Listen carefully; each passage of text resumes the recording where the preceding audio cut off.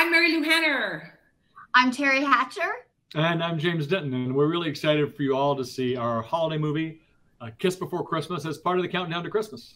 I know it's going to be so much fun. First of all, it's so good to see the two of you. I missed I you. know. I mean, we were together for a few weeks, but I feel like I've got lifelong friends, and it's so wonderful to to work with people that you've always admired. And then when you work with them, they turn out to be even better than you expected. So thank you for that. think It was a we, we feel the same way. Exactly I, the I same feel way. the same way. I have some really great memories of our time together. I can't Wow. wait to see you again in person. I know, I know. Yes. Teri and I, just for a little inside behind the scenes, she and I started to walk and walk and walk. And then 12 and a half miles later, it was like, well, maybe we should stop, you know. But it was unbelievable. 12 and a half miles, one beer, and one apple cider later. yeah.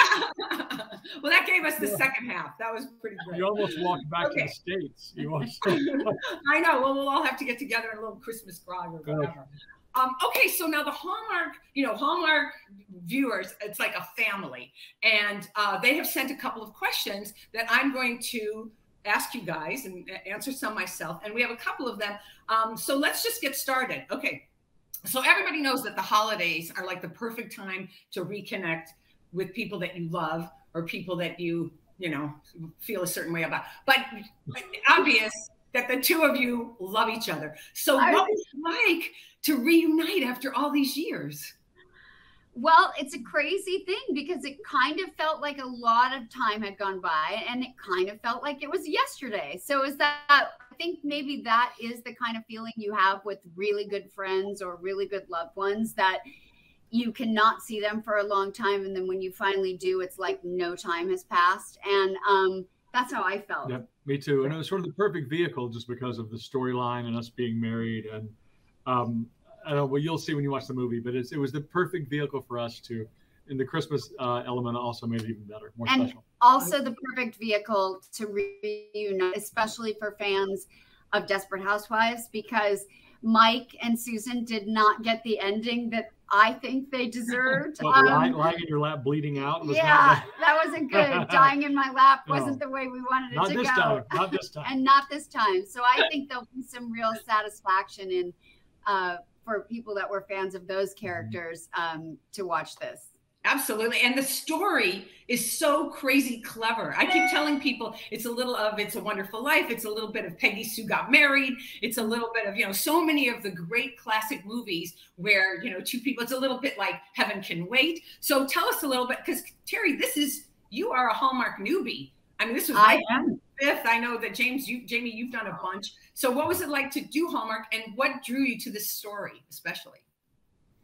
Well, I I mean, first and foremost, I guess it was him. You know, like he asked and I said yes. so it wasn't that wasn't that complicated, but it really is a charming script. And um I really like delving into just asking yourself like uh you know what is truly important in your life or or at least like learning that lesson you know through whatever your journey is like learning what's really important to you. And that's what's happening in this movie. And we both get an opportunity to play characters that you know have a have a part of telling that story. Um uh, it's got the right amount of comedy the right amount of heart you know i feel like there's laughs there's tears all the things you really want in a classic christmas movie. And um i mean hallmark's been incredibly welcoming and i will say after all the Christmas I saw everywhere on the set in this movie, I, you, you'd be hard pressed to think that anyone does Christmas better than Hallmark.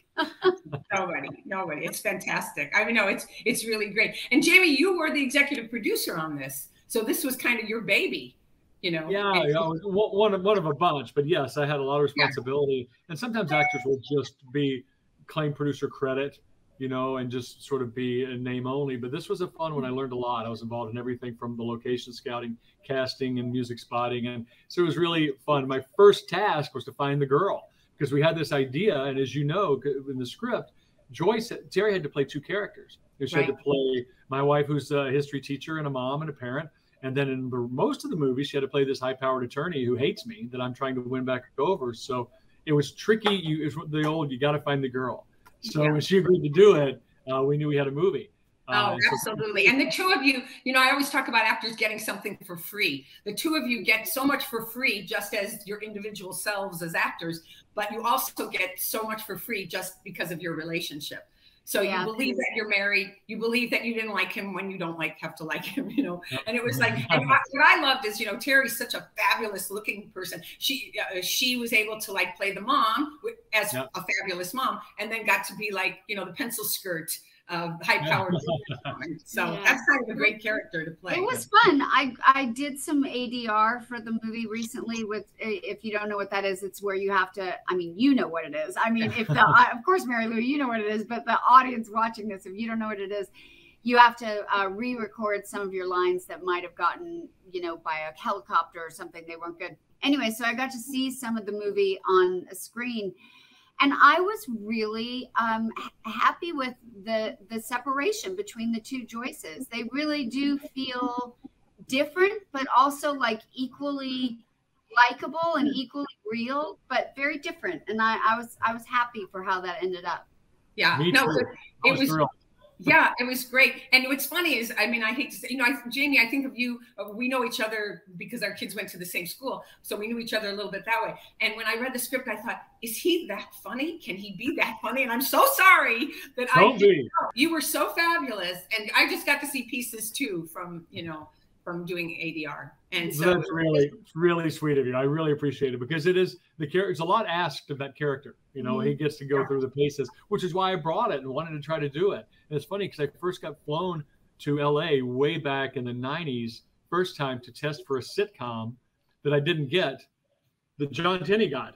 Oh my gosh! Yeah, and so that was before long before we met. So that's I actually crazy. I actually came to LA doing comedy and then never really got to do it again. So it was fun to be able to get to do some of that. And that, and there, yeah, he really is. He's really funny in it. Oh yeah, both of you. I mean, I know you're funny from Spy Kids and everything else I've seen you do with Superman, but I mean, not just Superman. Yeah. Okay, so tell tell a little bit about the story so that it really like throws out the fishing line and people will be like hooked and definitely want to show up on November the 21st. Uh, it's November the 21st. Yeah. Um, should I give it a shot? Please, yes. Okay. It's kind of hard. you please go? Okay well my my version of it the the short i guess the shortest answer is so um jamie plays a good man who's in a marriage and they uh they're sort of a good good family but like struggling maybe with a little bit money issues whatever and he really feels like he starts to reflect back on his life and some choices that he made. And one choice in particular, where he had an opportunity to do sort of a dirty deal at work that might have led him down a path where he would have been more financially successful. And he didn't do that because he's a good guy. But now, 20 years later, he's reflecting on maybe that was a mistake. Maybe if he'd done that thing, he would have more money, the life would be better. And he makes this wish to a Santa Claus who he thinks is just a store Santa Claus, but turns out to be a real magical Santa Claus. And he gets propelled into this new life where that's exactly what he did. He did the dirty deal. He never met his wife, so he never had his kids. He never had that life, but he drives a Ferrari and uh, lives in a closet. Lives in a big, exactly, really beautiful suits, looking gorgeous, you know, but no wife, no kids, and and then he realizes that wow, this wasn't what I anticipated it would have been. But then the whole journey of the movie is him trying to get back to the family that he realizes he loves that now he's away from. Right, right, right. And I play your boss. I play your boss. So yes. I get to like. speaking of, I'm kind of Miranda. Speak, speaking of, yes, your character Rona is sort of the a little bit of the moral center, you know, in yeah. the beginning. And it's funny because even in both realities, Rona, we kept saying this uh, in in production meetings. Rona, you know, she is she's solid. She's got this sort of moral compass and she's powerful. And when I found out that you were going to do it, I couldn't believe it because we had no idea what we were going to do for Rona. And so the yeah. fact that you were able to embody that, and then just the, the, the end, you well, I don't know. Don't it, give away the I don't give away the ending, but Rona's very pivotal. But you do yes. save the day. That, yes, that's yes. it. and let's not forget anyway, that I look fabulous. I look fabulous through the whole movie. Just saying. You know, it's kind of Miranda both realities. Yeah. Yes, both realities. or your friend Vanessa Williams from, uh, you know, Ugly Betty. She sort of got. Oh yeah, yeah, yeah. That's a good role model too. Yeah. Yeah. Okay, we're gonna play a game called This or That. Okay. Okay. This or that. So I'm going to give you some choices. I love games. I'll weigh in on two, but we're going to uh, play this little game, and you can pick and you can expand your answer whatever you think. Okay. So here we go. All right. Decorate a Christmas tree or share a kiss underneath the mistletoe.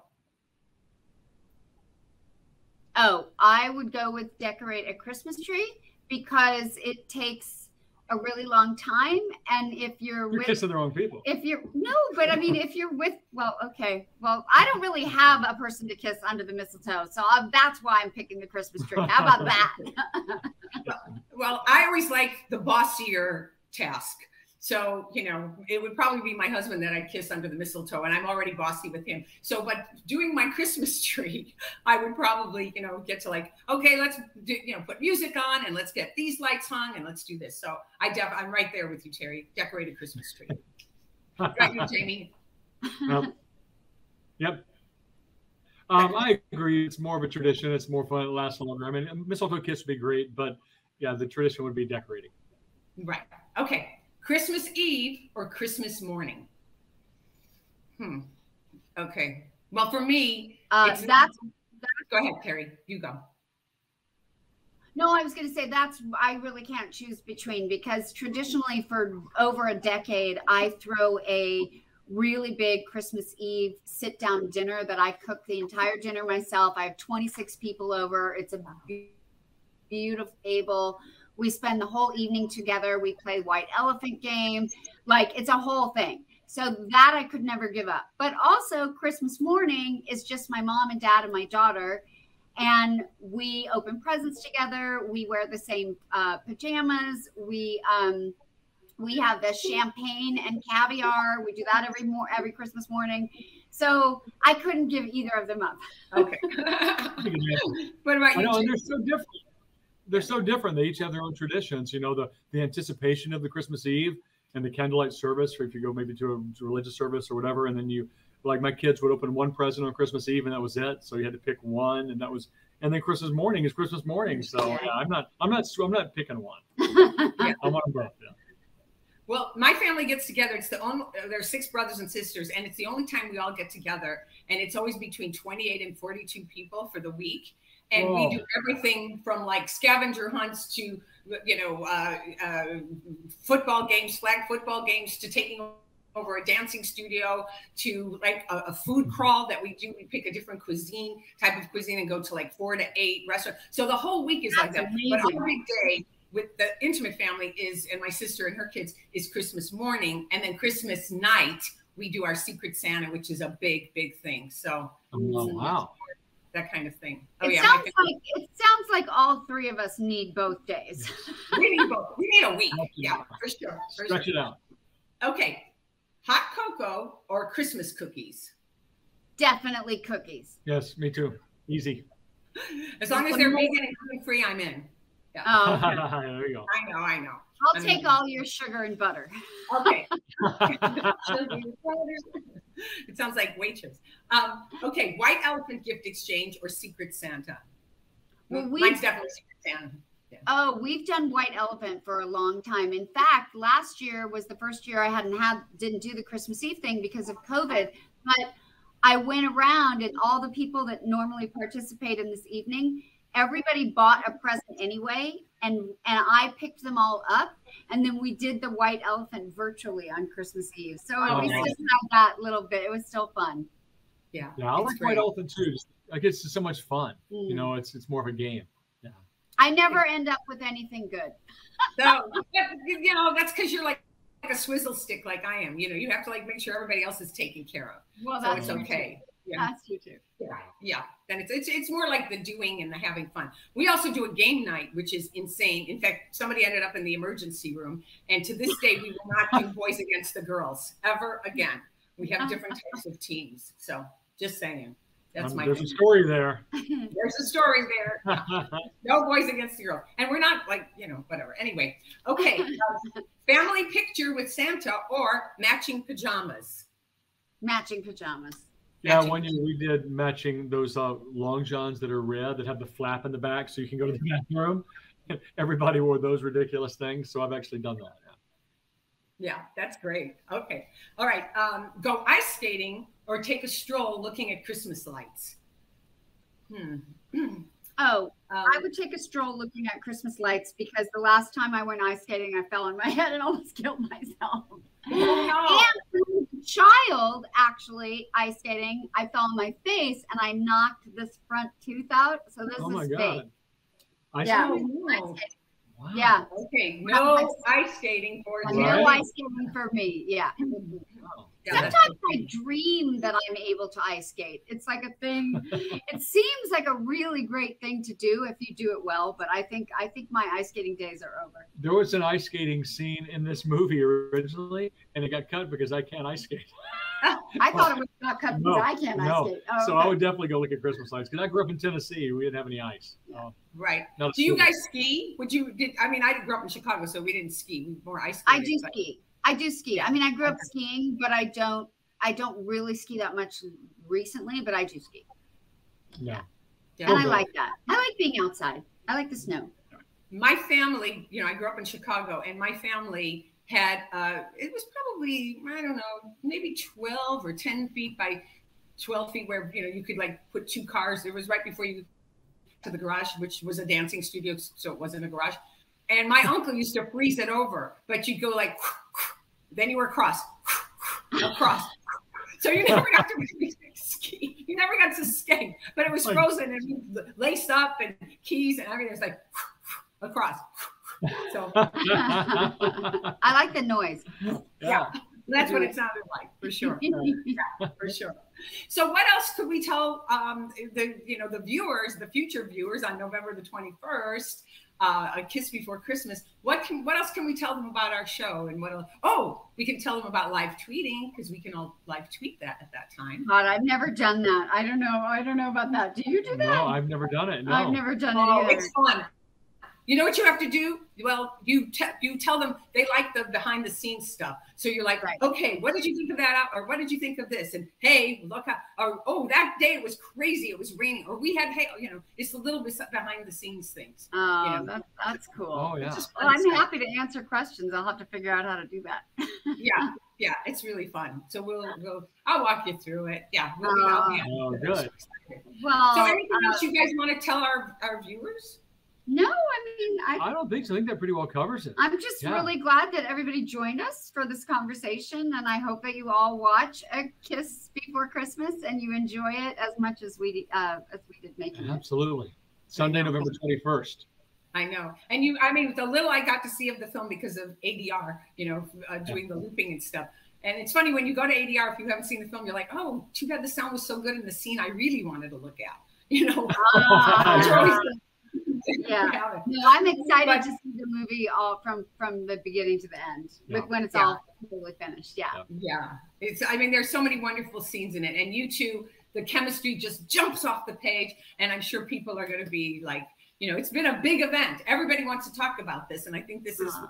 really high on Hallmark's list because of the two of you. And, you know, Um, and- Well, that's, really, that's really sweet. Well, we're just excited that Yeah. everybody everybody in it did such a great job. I think Yeah. people are really going to enjoy it. So I hope you do. yes. Tune in. It's really Yes. important. Yes. Yep. November the 21st. November Yes. the 21st. Countdown to Christmas. And it kicks off the Thanksgiving week. So that's even better. Ah, Yes. yeah, yeah. Yeah. yeah. Absolutely. So, Taylor, thank thanks for doing this. Okay.